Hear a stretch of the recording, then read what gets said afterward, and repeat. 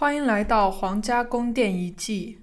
从这里可以看到矿山公园的设施以及城镇周边的自然环境，包括圣维拉德尔卡斯蒂略山脉，那里是三个自治区的交界处。该建筑建于17世纪末，是矿场负责人的居所和办公场所。在阿尔马登，它被称为“伟大的房子”。负责人曾经掌控整个矿区，甚至是全城的最高权力。这里的建筑风格是安达卢西亚式的，有着典型的大庭院和石质立面。北面还有一个小栅栏，上面的门廊可供骑兵进入。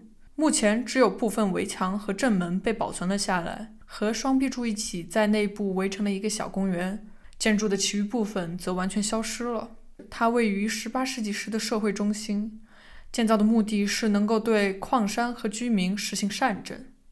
现在，让我们离开这个地方，同时我们邀请您一起前往下一个景点，继续探索有关阿尔马登的更多故事。